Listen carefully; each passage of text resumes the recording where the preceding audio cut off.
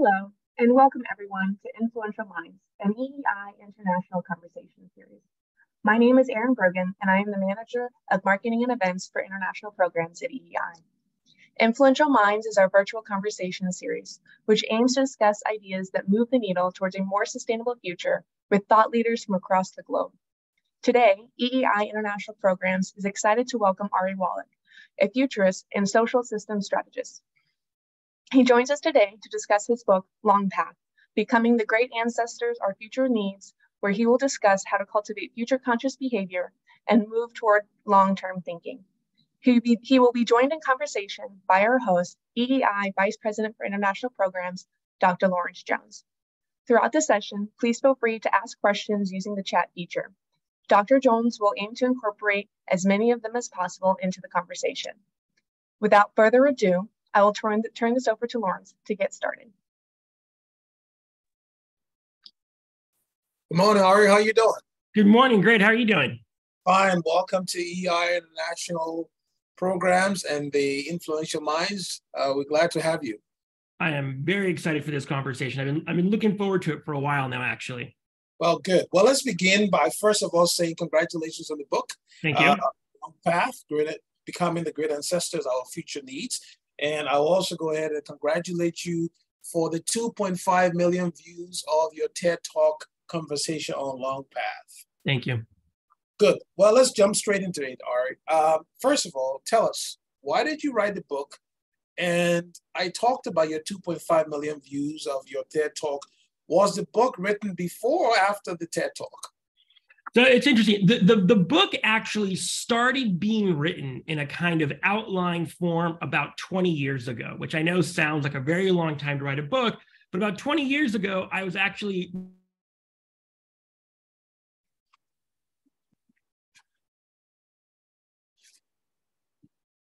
was whenever I was kind of doing research for the conflict in that region, what, what kept happening was I kept seeing um, historical research that only went back maybe 15 20 30 50 years. And i kept trying to figure out well i want to i want to put think about the conflict in a much grander time scale i want to go back 500 years a thousand years and there was just kind of an absence of the literature. So that's what actually got the kind of wheels turning in terms of if we want to think about how do we move forward we have to obviously think about how we got to the present moment.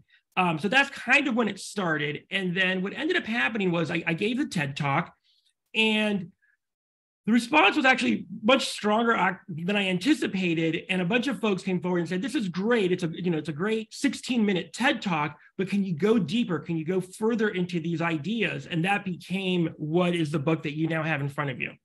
Interesting. So you call the book Long Path. Why that title? What is a long path?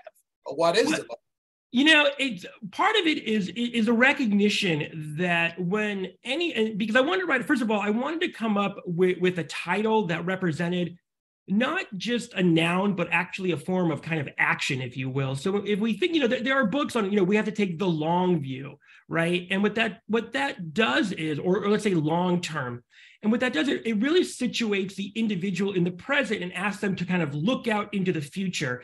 And having been a futurist for 20 plus years now, I can tell you that it's never a straight arrow. It's never between here and today. That's where we get caught when we try to take the present and extrapolate it out into the future.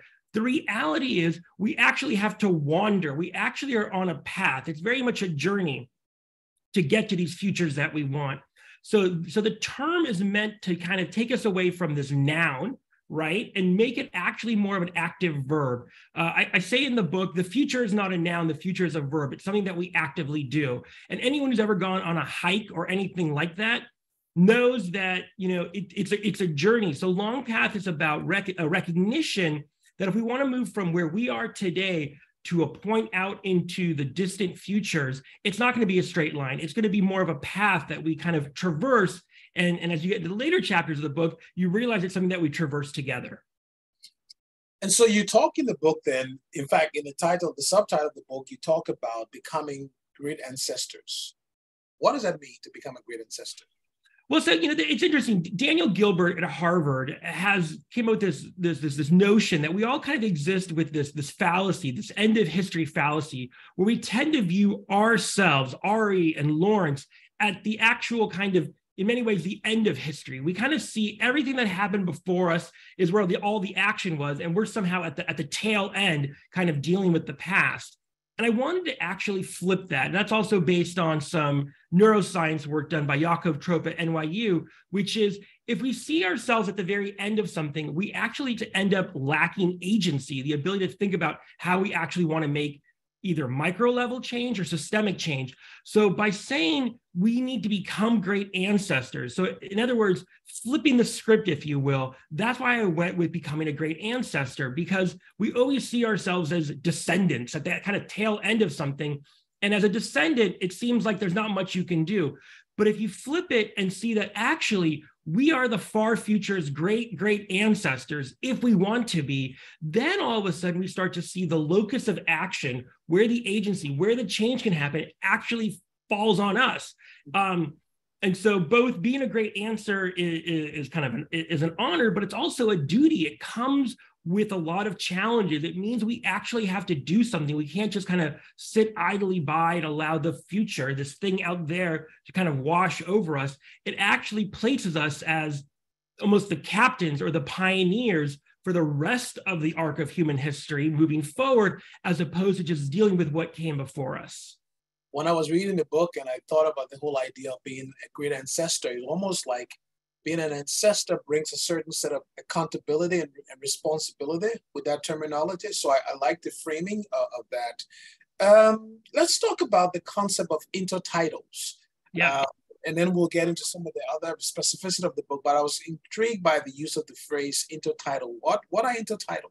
Yeah, so I, I, so an intertidal, if if we were, you know, an oceanographer, right, or someone who did, dealt with marine ecosystems, the technical idea of what an, an, intertidal is, it's that zone on the edge of basically the beach. If everyone, anyone's ever been to the beach, you see the kind of the, the tide come in and out. So that whole zone that is sometimes above the water, sometimes below the water is what we call an intertidal zone. It's also therefore used as a metaphor in the book because it's very much where we are globally or even planetarily as, as a species, right? We we know the old systems that we've been using for several hundred years. You know in many ways tracing them back to the renaissance the the industrial you know scientific method the industrial revolution first second and third waves of capitalism. Those old systems have worked very well but up until now up until a point. And if you kind of read anything be it on the left or the right we know these systems are breaking down. Our our trust in all major institutions that came about over the past couple hundred years is at all-time lows, be it be it business or, or government or even religion. And so, in this moment where the old system is kind of dying, if you will, and the new one is yet to be born, that's what an intertidal is. And the reason I talk about it, us being an intertidal, is it's not all bad news, right? An intertidal can be this kind of dangerous place, an, an interregnum, if you will. At the same time, when we look at intertidal zones in, in, the, in the ocean sense, it's also a place of abundant creativity. There's ocean life that kind of knows how to navigate intertidal, both be in and out of the water, because it happens, you know, two times a day. And so I use the intertidal as a metaphor for us to kind of think about this moment that we're in isn't all chaos and flux, which is how it's talked about in magazines and you know on TV talk shows. It's also a time of really great opportunity and creativity to really start kind of designing systems that are bespoke for this moment, bespoke for this intertidal, that don't just let us kind of survive, actually allow us to set up what will probably be systems, ways of doing and thinking, and, and really narratives that will carry through for the next several decades, if not several centuries. So it's really an amazing, it's a difficult time. Trust me, I know. It's also an amazing time to be doing work, be it the work that, that folks in electricity are doing or anything in the kind of innovation space. And that's hardware innovation, that's software, that's even human systems innovation. We're kind of seeing an, an abundance of innovation flourishing in this intertidal that we're in, but it's important that we name it, that we know that we're in it. And because when once we do that, it can actually kind of decrease the anxiety and the, the depression that people have and realize we're actually in a very unique moment where we can try lots of new different things and it's necessary and to your point it drives a sense of responsibility for the moment that we're in. Mm. so so so another thing coming again from the cover page of the book is or the cover of the book is the use of the phrase the antidote to short-termism. Uh, talk about how come our world today is dominated by short-termism. How do we get here? Yeah i mean it's, it's, it's interesting. Look if Ari and Lawrence are walking in the you know Serengeti 15,000 years ago and a, and a large toothed tiger jumps out behind a tree, you and I should not sit down and have a long conversation about what to do. We shouldn't have a strategic whiteboarding session. We should run, right? The, the, and we should be very short termistic in our thinking. So let's recognize that the, the hardware platform to, to be a little too um, technical, but the hardware platform that is the central nervous system of humans actually requires short termism to survive. It's what got us here through the past several hundred thousand years. The issue becomes is when it becomes kind of nested within larger incentive systems. So the most obvious ones, obviously, are kind of quarterly earnings or the political business election cycle, where politicians start running for office the day after they're elected for the next election, or when CEOs look at kind of management decisions and kind of how they should invest based on the stock price of their company that day. And that sounds kind of like a wild thing, but I have been in rooms where we've literally been planning out five, 10 year strategies for very large corporations. All of a sudden, the stock price went down a little bit because there was a rumor, and the CEO goes, You know what? We're actually not going to build that factory. I, I can't afford to do it, based literally on what happened over the past couple of hours. And so that short termism and kind of the overarching systems that are in play that is pushing us. The reason I put that literally on the cover of the book, and this goes back to the previous question around the intertidal is in intertidal moments, one of the first things to go is this idea of an official future. So we don't realize it, but we're all kind of operating with this idea of what tomorrow will be like. We need it to, to, to, operate in such a way where we don't know what next week or next month or next year will kind of look like would be too cognitively taxing for us. So the official future is usually this unset, you know, uh, un, unsaid assumptions or narratives about how the world is going to work and how it's going to move forward. The issue with it with a with an official future is as it kind of consistently gets chopped at and broken away, people lose trust when they lose trust in those overarching systems that set the official future agenda, they actually become, they really kind of move into a state where they're thinking less with the prefrontal cortex, less about kind of long term executive functioning, and they fall back on what we call limbic level system, really the, the, the amygdala, what is sometimes referred to as the lizard brain, incorrectly, but that's what it's referred to. And so, what long path is, is an applied mindset. It's a way of kind of navigating this intertidal that first and foremost pushes back on short-termism. Why short-termism is why short-termism is bad? What ends up happening is you become hyper-focused on the on the present moment. And yes, you will survive that tiger, but the reality is we're not in a situation where we're surrounded by large-toothed tigers from 15,000 years ago. We're in a situation where we need leaders to step up and say, no, the other futures are possible. This is what they look like, and here's how we're going to get to them. And that's the, you know, long path itself is built on two, three pillars that we'll talk about in a second. But really, what I why we put an antidote to short-termism on the cover is because we want to acknowledge what people are going through and what it is they're going to get out of reading the book, but B, out of kind of implementing this mindset into their strategic thinking. So that mm. that's what short-termism is. And that's why we have to push back against it because in, in a, and I'll say this in a, in a non-political way, what ends up happening to populations in general when short-termism rises, and we've seen this over the past 2,000 years, is people are looking, they get scared, anxiety goes up, and they're looking for instant answers. And where those instant answers tend to come from in a political sphere is through what we call strongmen or authoritarian thinking. So as we see the rise of that around the world to us at Long Path Labs, my organization, that's a very strong signal that we're in an intertidal, that folks are looking for quick fixes for the kind of anxious moment that we're in.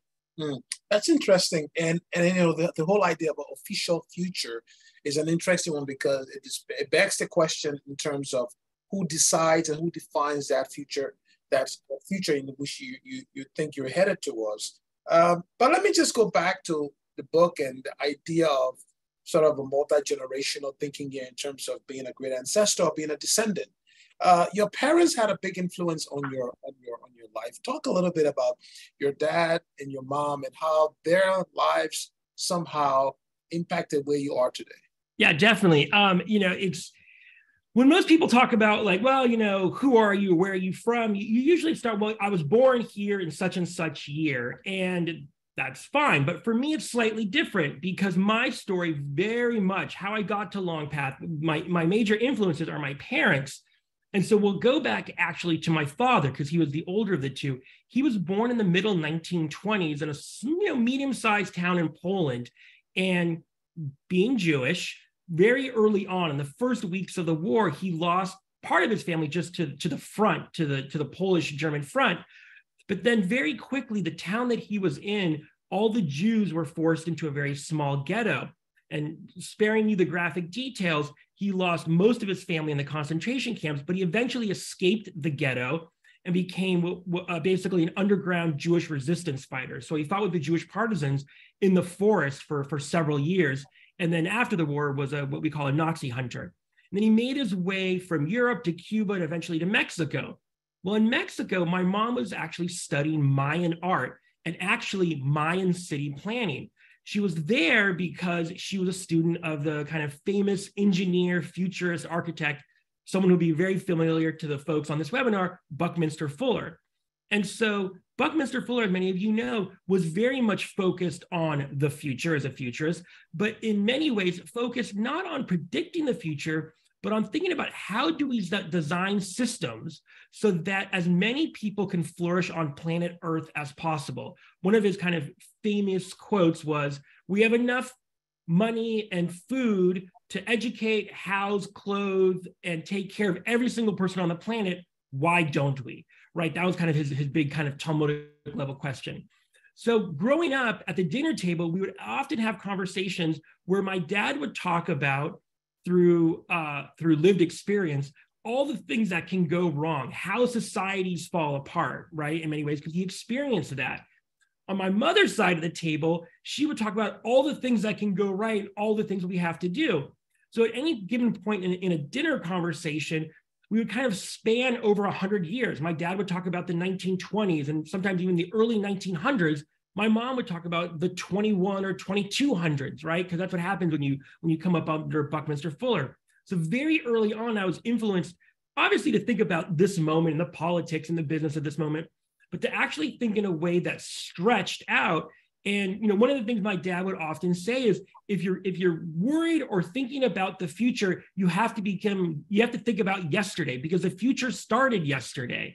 And what that did was it very much changed my conception of time and how you make change happen, which is that you have to enter into any moment really recognizing what got you to that moment, as opposed to just assuming that where you are and everything behind you was somehow uh, sanitized and totally clean. And that's just like not the that that's not it at all. So that was very much an influence both on my thinking professionally, but in terms of long path, how I think about how we think about being great ancestors. I like what your dad said, the first part of that quote when he says, uh, if you forget the past, you don't have a future. I think that's a very, that very, very powerful statement. Uh, so let's get a little bit into long path. But before we do that, by the way, one quick question. Uh, in the insignia of long path, you have a dragonfly. Yeah. And I thought it was interesting. Why a dragonfly? So it's, it, you know, it, it, turns out, you know, we always have insignias or, or whatnot. And the dragonfly is you know one of, one of the precepts of long path is that we always have to be able to kind of see omnidirectional right we can't just be looking forward we can't just be looking backwards we, we have to be looking left right up and down kind of all at the same time be very kind of honest with ourselves with where we are as individuals as leaders as organizations as companies as societies as nations right and so there's actually there's actually only one animal that actually does this on planet Earth. It's the dragonfly, right? hundreds, thousands of eyes actually allow it to see in any given direction at any given time. That's why the dragonfly is an amazing predator, but it's also very difficult to catch because it's actually, even though it may look like it's facing forward, it actually has this almost 360 degree view about what's happening around it. And so, kind of a tenet of long path is to always be aware and able to think about what might come next. But to my earlier point, what happened before and what's happening all around you, being very kind of conscious of the current moment and how you got there. And so I couldn't think of anything better kind of to, to, to kind of uh, put that in our mind's eye than, than a dragonfly. So the, it's an astute observation by you. The dragonfly kind of is our, our spirit animal when we kind of think about how we should think and operate in this world. Well, this is great because, you know, one of the actually the listeners to this uh, conversation right now is a famous biomimicrist, uh, Michaela Inch, who was actually on this uh, on the show a couple of uh, months ago and talk about biomimicry. And so I thought it was very intriguing to have a conversation about this and then bringing the whole role of the of the dragonfly. Okay, so let's let's let's one one other example before you talk about the pillars of long path. And in the book, you you talk about the sort of a you give an example where you talk about the analog clock and a digital clock. And in that in that example, you try to make the point about how how uh, we need to focus on the present but sometimes we also need to take the big picture view. Talk about that clock analogy between the digital and the and the uh, the analog. Yeah, so most of you right now are probably watching this on your computer. So if you look in your upper right or upper left hand corner, you're going to see a digital clock. It's going to say 11:23 a.m. That's great. You need to know what time it is. But as we've moved into a more kind of digital way of thinking about time and where we are in the world, one of the things we lost was what the analog clock gave us. So in your office, you'll you'll look around, maybe you have one, maybe you don't. You'll see an actual analog clock with hands on it. So what's the difference? When you look at a digital clock, you're very much in the present moment. There's really there's really no future, there's really no past, it's just the now. And I don't mean the now in the Buddhist sense of being present. I mean, literally in the fact that we don't think about time any any differently in many ways, right? We just it's very much we're very much stuck in what we what Doug Rushkoff calls presentism, which becomes this ahistorical sense where you're disconnected temporally. Now, when you look at an analog clock, yes, it may say 1124 with the hands, but what you also see is the entire day stretched out. You see all the numbers.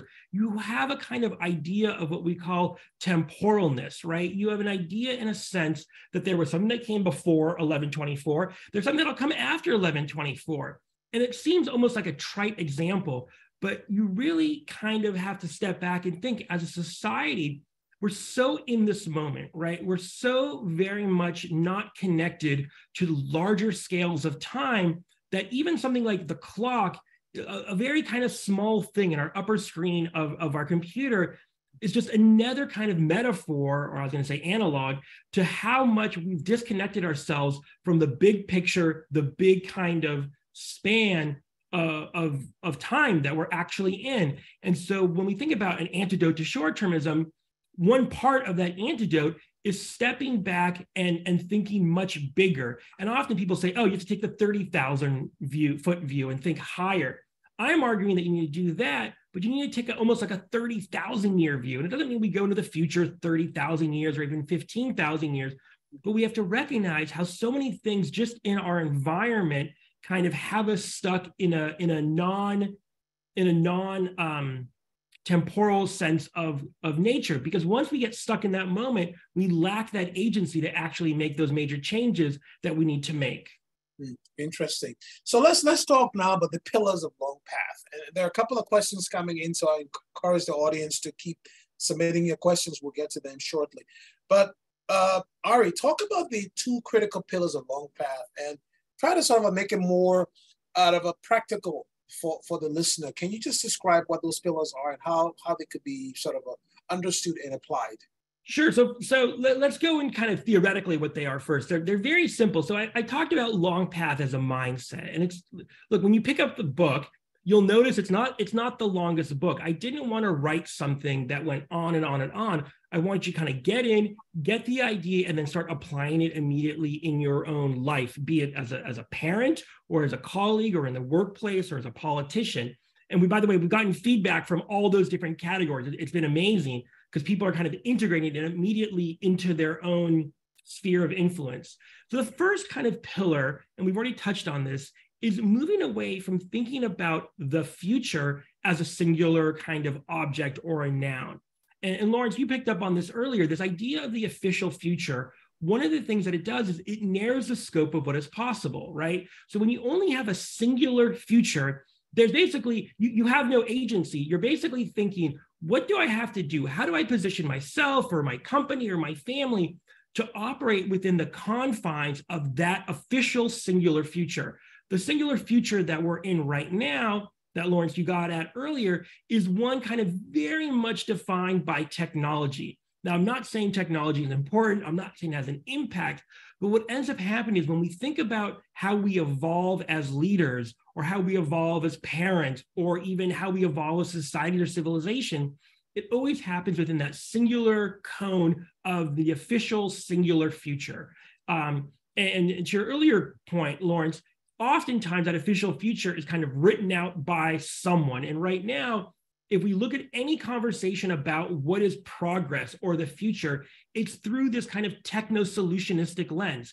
It totally makes sense, but it actually becomes limiting. And so the first pillar of Longpath is to move from future thinking, the singular, to futures thinking, the plural with an S. It's a small, small little addition. It's just an S, but what that does is it widens the cone of possibilities.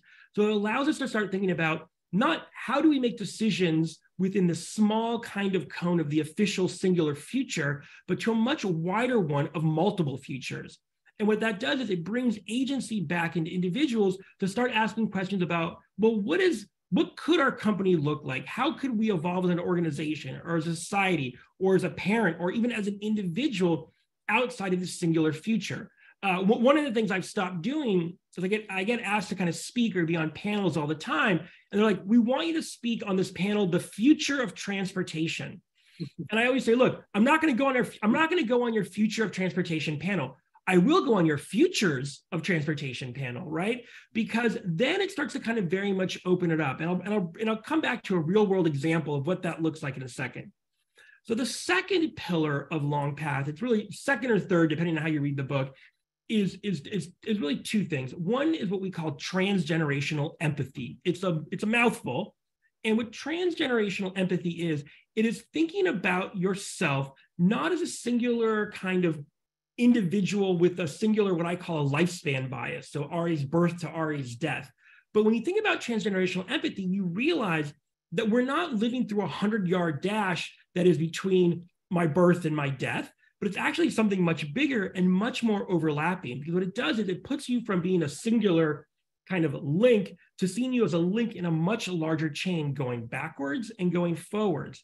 And the reason I talk about transgenerational empathy as opposed to transgenerational thinking, which is cognitive, is all the research that we did at Long Path Labs with all of our board of advisors and our scientists and our neuroscientists led us to a conclusion that what actually circumscribes how people think about the futures, what ideas they can have, what are the new kind of innovations and ways of being.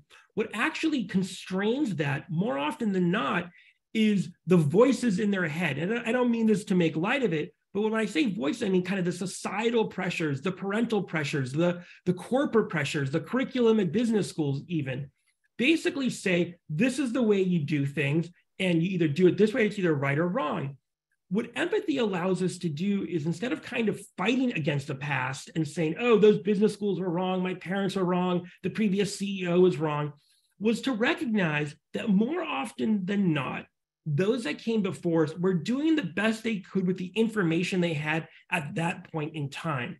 And so, what empathy allows you to do for those who came before is, and this is a little bit of a sleight of hand, and you'll see this in the book, is it allows you to have empathy for yourself right now. Because once you actually start to have kind of gratitude for those who came before you, and this doesn't mean you let people off the hook that came before you, uh, far be it from that, but to understand that they operated in their own kind of societal context and that circumscribed their options, it lets you start to actually see things in a much more um, open and honest way. So remember, before I was doing Long Path, I was running and building innovation labs for very large organizations. And more often than not, I found when we brought people into a room to think about possible futures, they always had these roadblocks, and we couldn't figure out what those kind of roadblocks or bottlenecks were. And we realized it was they were always kind of carrying the the baggage, the good and the bad from the past, wherever they worked, what they were told, what they were told would and wouldn't work into the room with them. And we wanted to find a way to kind of clear that out. So having that empathy and the gratitude for those who came before, and then thinking about what are the positive and not positive things from those who came before that you want to bring with you now into your decision making kind of process that is the empathy for the current moment. And then of course empathy for the future is what allows you to make the behaviors and the changes and decisions that will really impact the far futures. Again why empathy because we're talking about emotion what all the research has shown lawrence is if i sit back and i say okay here's what we want you know, electrical power to look like over the next 150 years in America, and we plotted it out as a PowerPoint, people say, oh, that's really, you know, those are great ideas, those are great visions. But very quickly, life will hit them and they'll say, oh, we, we kind of like the CEO that I was talking about earlier, the stock price will go down, something will happen, and they'll kind of forget that and they'll go back to kind of short term thinking and acting and strategy when you ask people to be kind of empathetic and connect emotionally to future generations, you move away from the intellectual, you become much more kind of emotionally connected. Why is that important? All the research shows that when you have an empathic emotional connection to others, specifically far future generations, you are more likely to take the actions necessary. Because instead of saying, well, we want, let's say, um, electrical grid systems to look like this in 100 years if you if you put it that way that's kind of the classic the future of. But when you actually reframe the question to be how do we want people to live in 100 years from now? How do we want them to flourish? How do we want them to feel believe it or not all the research shows that when we start asking that question, how do we want our descendants to feel and then you start kind of backcasting into the more formal things that have to happen for them to feel that way. You become much more resilient.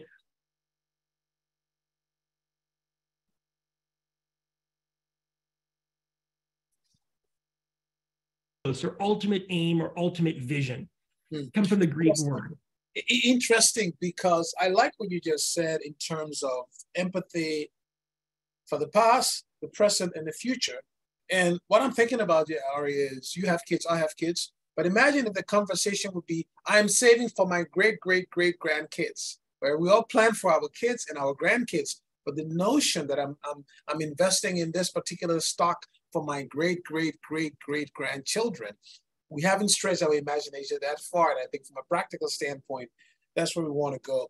Uh, let's take one question. There's a question here. I think it's from uh, from uh, from uh, uh, from Switzerland actually. Uh, can you correlate the inclination of a society to be short or long term uh, oriented with the level of development or political stability? You kind of alluded to it a little bit here, but I think trying to understand what's the correlation between short term thinking, long term thinking, and the economic development in the country. Do you see any correlation there? 100%.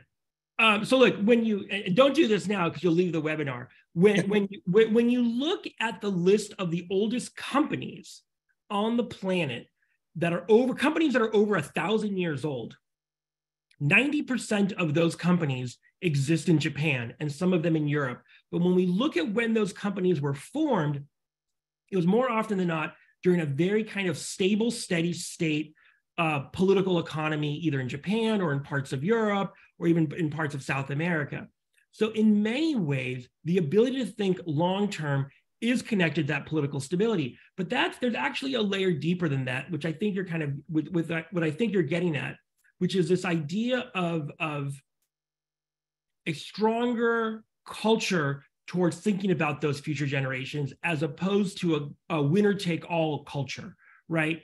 And so one of the things that I get at in the book is in this kind of advanced hyper capitalism moment that we're in, which is one very much of I'm going to get everything that I can right now. It's kind of like the story you know uh, of the ant and the cricket who's just going to play right now and the other one is kind of storing seeds for the winter. In this moment those that are more willing to invest in the far futures are more often than not going to have a more steady cultural state. And be in a state of mind that allows them to think differently and critically and, and with more responsibility and, and, a, and a word I'll use with more honor towards a, a, larger kind of vision of what they're involved in. And so, listen, it, it's difficult in, in growing economies, for sure. People, especially who are moving from you know abject poverty into the middle class, tend to be more, let's say, consumer consumption, luxury brand oriented, less less long term in their in their thinking. So part of it becomes how do we incentivize that type of thinking, even in countries that are developing and moving into kind of higher levels of middle class?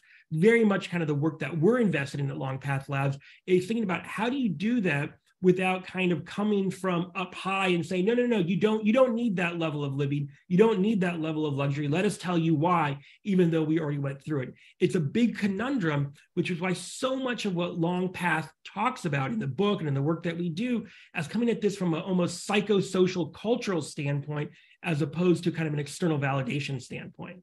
Mm. great question.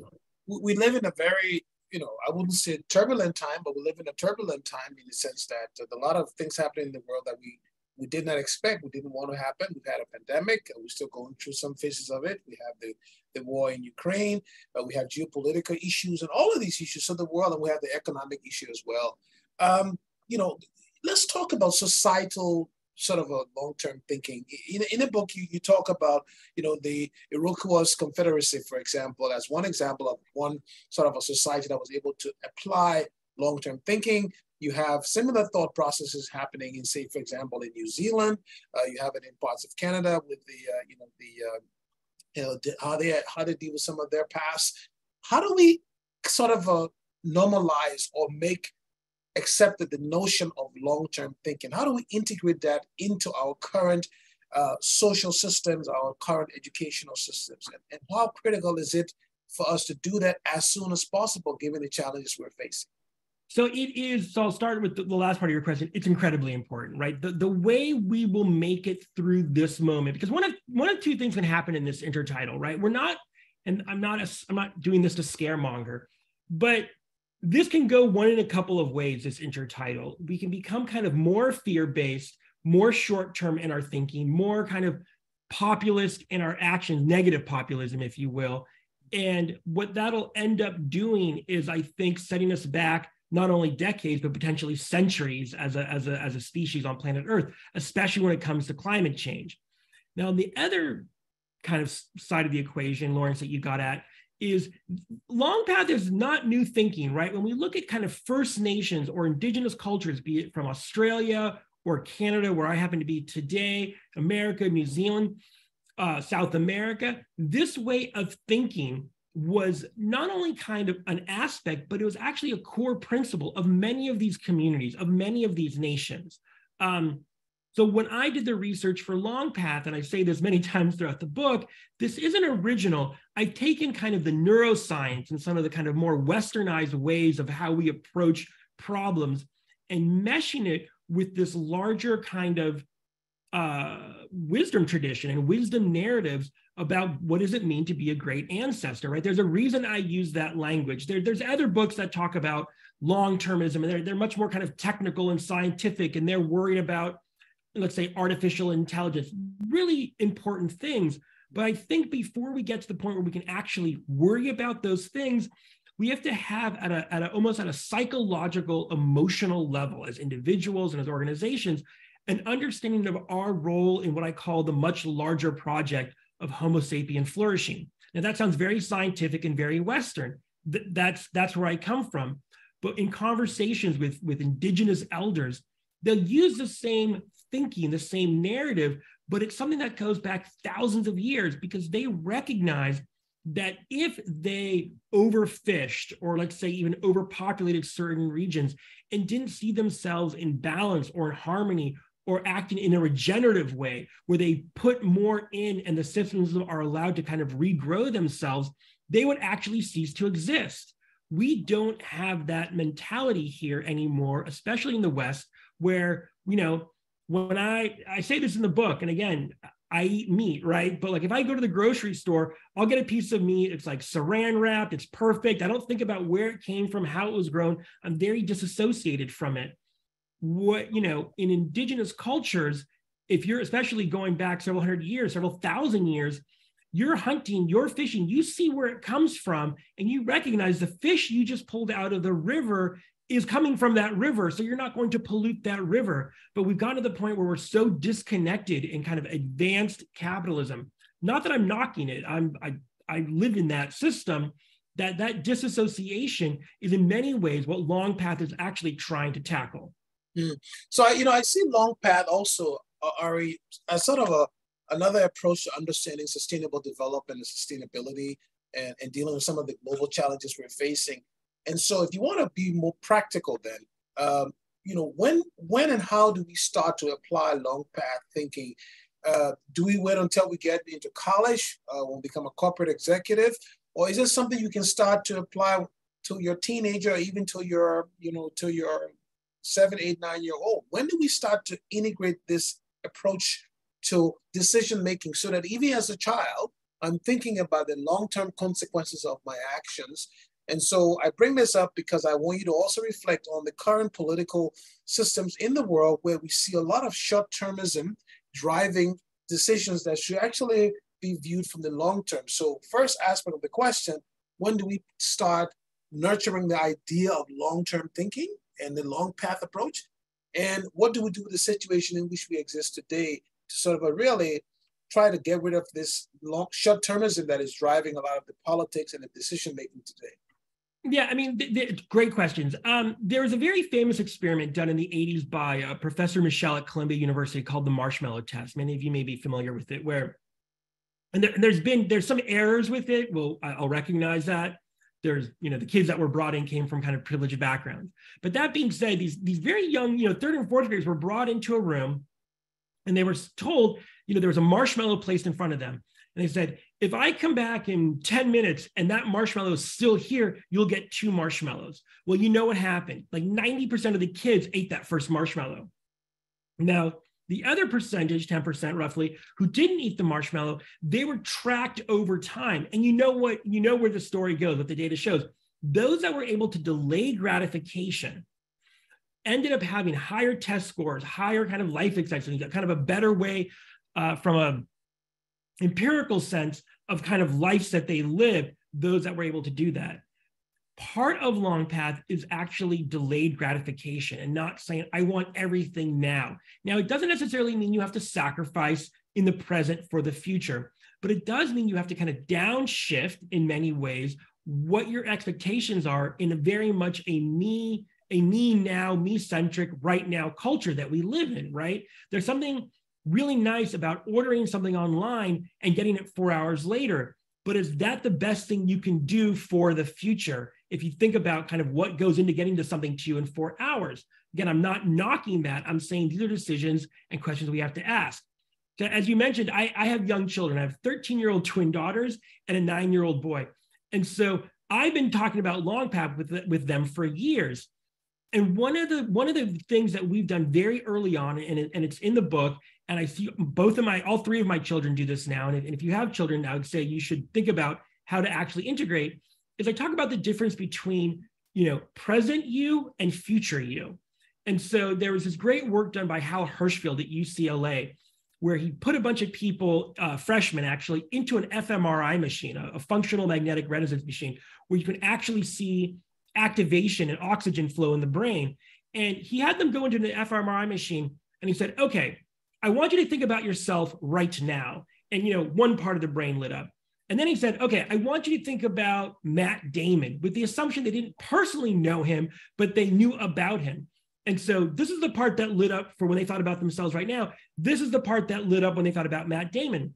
Then Hal asked them a sec- another question, which is, think i want you to think about yourself 10 years from now your future you and you know what happened the part that lit up for matt damon is the same part that lit up for them 10 years ago it was this entity out there that they kind of had a vague connection with so he pulls them out of the machine and he breaks the groups into two parts one a control group the other group he has them do two interventions one is he has them look at a photo of themselves aged 10 years from now. And they look at it every day for 30 days. He also has them write letters to their future selves. And what he found was when he put them back into the machine 30 days later, you know what happened? The group that hadn't had any of the intervention still had that big disconnection from their future self. But the group that had written letters to their future selves or seen photos of themselves aged now had almost total overlap between in their brain and the parts of the brain that thought about their current self and their future self. What that means is they now were able to start making decisions that would benefit their future self. And so when you're working with young folks, like I do uh, at Long Path, where we're in schools and I actually have my own kids, if you ask them to start thinking about their future self and create more of that alignment. So if you go to longpath.org, there's a little thing on the top navigation bar that says future me. Now we can't read those, but what it allows you to do is send a letter to your future self. You know, if the default is five years, but it could be 10 years, and it's stored on servers in Australia and we can't read it.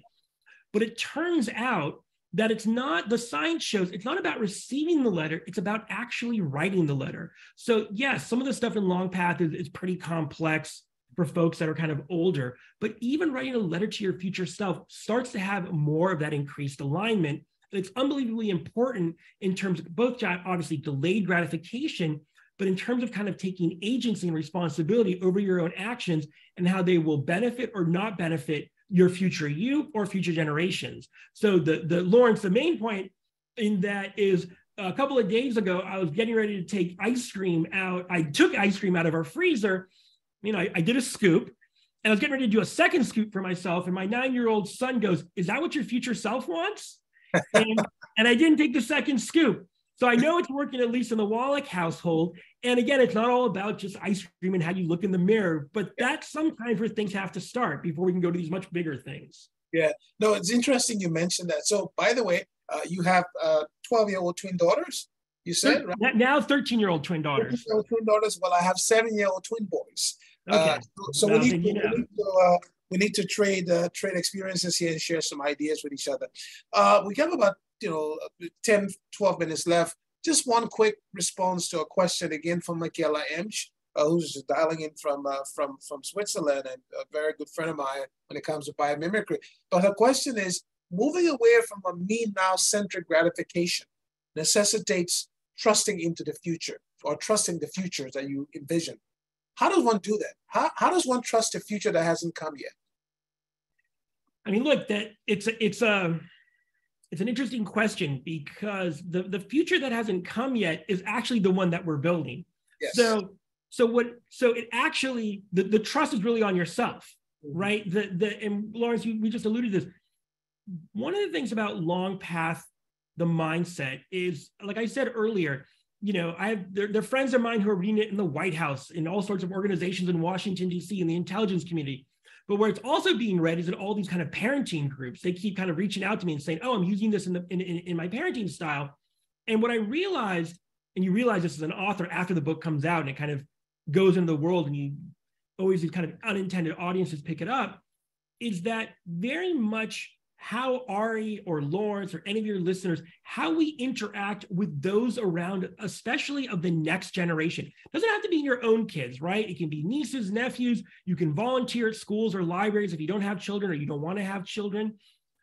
But what happens when you interact and you model a way of being? So, Long Path isn't necessarily about big whiteboard experiments and saying, oh, we're going to set up a, you know, one of my pet projects is like a global energy grid. I've been pushing that for a long time. It's like an internet with ultra high voltage DC cables, something we can talk about another time. That's very long path. What's also very long path is how you interact with your child in the morning. Because what ends up happening is that reverberates out into the future, especially if they're going to have children. So, case in point, and going back to Michael's, you know, really smart question, an insightful question is I was I was in a conversation uh, with my son after he had done something that was let's just say less than perfect, and I wasn't being my best self, and I was kind of really kind of being laying into him, being kind of giving him a guilt trip, and and my my wife, of course, always my wife, looks at me and she just says under her breath, "Long path," and I knew what that cue was. What that cue was was a recognition and a remembrance that how I'm interacting with my son at this point isn't just about me and him, but it's actually modeling a set of behaviors that will then he will then use with his children, which then will be used by his grandchildren.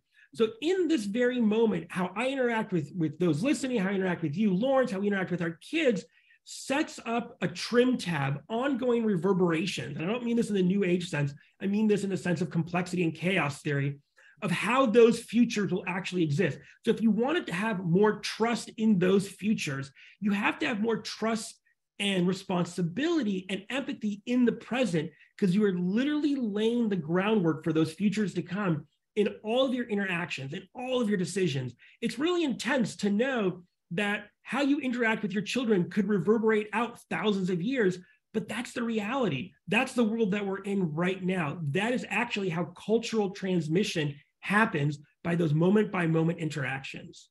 It's fascinating. And we have about 10 more minutes, uh, Ari, and I'm going to try to get in at least three or four more questions. But one of the things I really liked about the book are there the examples you have and the exercises that the reader has to do as as they go through reading the book. Uh, let's let's talk about uh, climate change. We we have COP27 taking place in Egypt, and I'm creating a scenario where Ari Wallach is sitting in a room with all the world leaders who will be going to going to Egypt. They're in Egypt now. Uh, let's create that future. So we're in Egypt, and you're sitting there in that room with the world leaders, and you're about to give them a one minute explanation of why they need to apply long path approaches to the decision making, why it's critical. You got one minute and you're in that room with those uh, world leaders talking about climate change and what needs to be done. Uh, what would you tell them and how can they apply the lessons in the book? So, so it's a great, it's a great question. So, so my wife is a social worker, and she always says you have to meet the client or the patient or your population where they are. So, if I'm in the room with world leaders, not to make light of world leaders, we have to recognize that what they see them and where they see themselves is as kind of very important people who want to think about their legacy. So in my one minute, I wouldn't necessarily, I wouldn't say, hey, you need to, you know, think long path, generations to come. Here's why it's important. What I would say is this is about your legacy. This is about how future generations remember what you did or did not do. So a thousand years from now, when they look back, you know, COP is in November 20. 27, yes.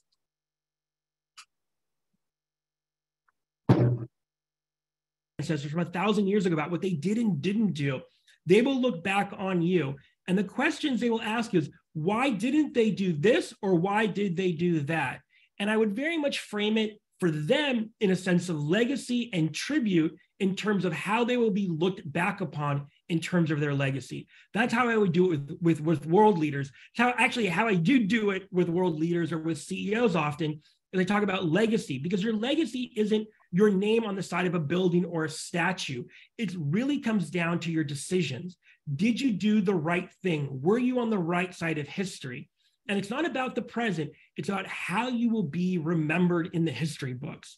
And. I find more often than not, when I kind of frame it like that, for leaders at the top, be it the UN or Fortune 100 companies or Fortune 10 companies, they're more likely to take the actions necessary to allow there to be flourishing over the next several generations, if not the next several thousand years. So we've moved now from the world leaders, and we're going to come now to the average consumer like myself and others, very lay people. And you have an opportunity in a town hall meeting with a, a group of, of folks who are going to be making very important decisions in America and other parts of the world in a democratic process where they're going to say cast a vote uh, in, in case of an election. What do you tell them? How do they apply long-term thinking when they're about to cast their uh, their vote in a democratic society, for example? So there's this great uh, process that they use in Japan by a professor at a university of Tokyo called it's called future design. It's it's not the best term, but it's a good term. And one of the things that he does is when he brings pe- when he, he brings kind of uh, local population citizenry together to think about town budgets or things that are very much of the moment that they have to decide on. He actually will have, he will randomly choose, let's say 10% of the people in the room to be emissaries from the future. And what he does is he gives them these very cool, ornate golden robes. And they are there to represent the future generations. It could be 2040 or 2060 and they act as proxies for whatever is being talked about in the room. So people will say, okay, do we vote on this four lane highway or not? Or do we build this building or not? And normally people kind of think about it from the present moment going forward. But then there are those in the room who are supposed to kind of look back and say, well, here's why that did or didn't work for us in 2040, 2060.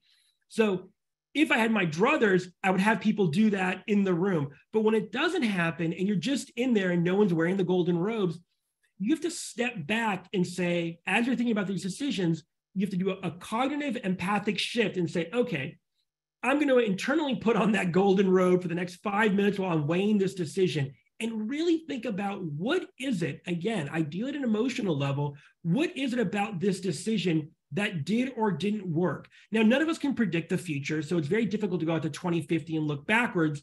But what it does allow us to do is when we place ourselves in the future, looking backwards, it allows us to have a conversation with those making the decision and to kind of put it into a much larger context. Again, it's very much what we talked about earlier in terms of the future you decision making, but it really comes down to future us and what is it that we needed.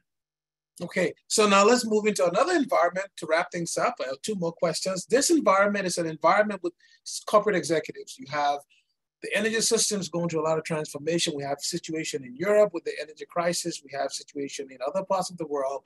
And business executives are having to make hard choices between the now and the future. Uh, what do you tell them?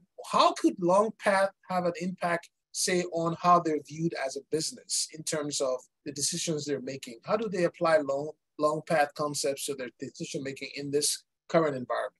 So it's interesting. I, am I'm here in Montreal right now. I'm giving a talk to 50 leading CEOs in the Quebec region tonight. This is what we're going to talk about. And it's interesting. I asked them ahead of time, what are you most concerned about when it comes to the future? And they say climate change and artificial intelligence and retaining and attracting the workers of today and tomorrow, like Gen Z, millennials.